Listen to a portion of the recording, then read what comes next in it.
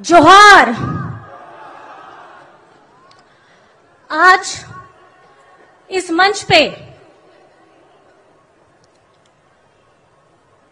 India, जो आप देख सकते हैं, उत्तर से लेके दक्षिण तक, पूरब से लेके पश्चिम तक, पूरा यहाँ समागम है। विभिन्न विभिन्न लोग, विचारों, उम्मीदों, आशाओं के साथ जुड़ा ये हमारा इंडिया है और यहाँ आए सभी जन सैलाब जो हमारे सामने बैठे हैं, धूप में जो अब रात हो चुकी है और इतनी कड़ी मेहनत जो हम लोगों को मिलती है, आज यहाँ मंच पे आसीन जितने मान्यगण हैं, वो आपके द्वारा चुने जाते हैं।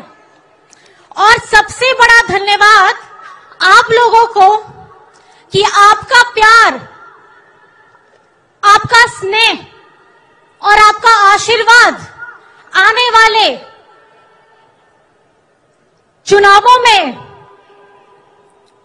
अपने भविष्य को अगर आपको चिंता है तो उसको बदल करके दिखाइए, क्योंकि सामने में जो तानाशाही शक्ति खड़ी है, वो आपके अधिकारों और हक का हनन करने के लिए खड़ी है। क्योंकि जिस तरीके से महाराष्ट्र में भी लोगों को खरीद कर यहाँ की सरकार तोड़ी गई, लेकिन झारखंड में हमारे महागठबंधन के सभी विधायकों ने मिलकर उस शक्ति को दिखाया कि जितनी भी बड़ी शक्ति क्यों ना आ जाए, झारखंड की सरकार को हिला नहीं पाई है। चेहरा बदल गया है। चंपई चाचा जी यहाँ बैठे हैं। हेमंत जी के नेतृत्व में पिछले चार वर्षों से जितनी कल्याणकारी योजनाएँ बनाई गई हैं, जिसमें महिलाओं, बेटियों, बच्चों, बुज़ुर्गों, दिव्यांग सबके लिए योजनाएँ हैं। और आज उसी योजनाओं को आगे बढ़ाते हुए हमारे वर्तमान माननीय मुख्यमंत्री जी चंपई चाचा जी अग्रसर है, उसको तेज़ी से बढ़ा रहे हैं।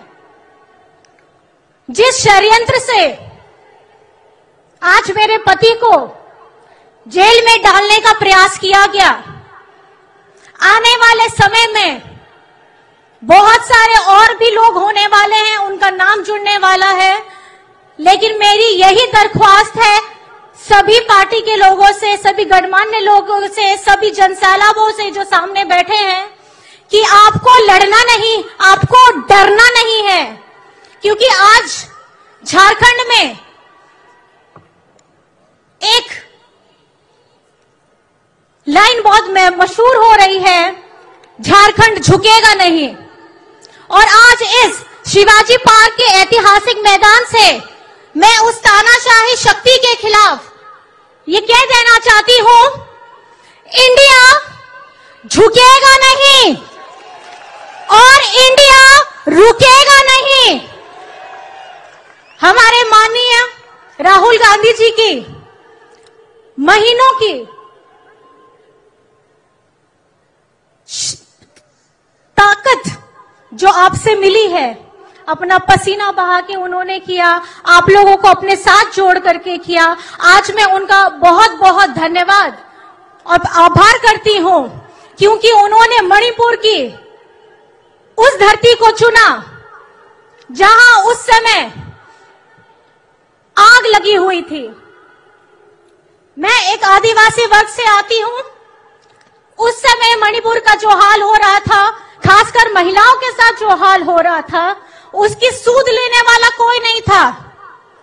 आज भी वहाँ की राज्य सरकार मूक है, केंद्र सरकार मूक है, लेकिन हमारे माननीय राहुल गांधी जी का हृदय इतना बड़ा है, उनको वो पीड़ा दिखी। और उन्होंने उस धरती को चुना जिसके लिए मैं आपको बहुत बहुत आभार करती हूँ। मेरे ससुर जी शिबू सोरेन जी, उन्होंने भी महाजनों के खिलाफ उस लड़ाई को लड़ा था और आज हेमंत सोरेन जी भी उसी लड़ाई को लड़ते लड़ते आज जेल के अंदर चले गए।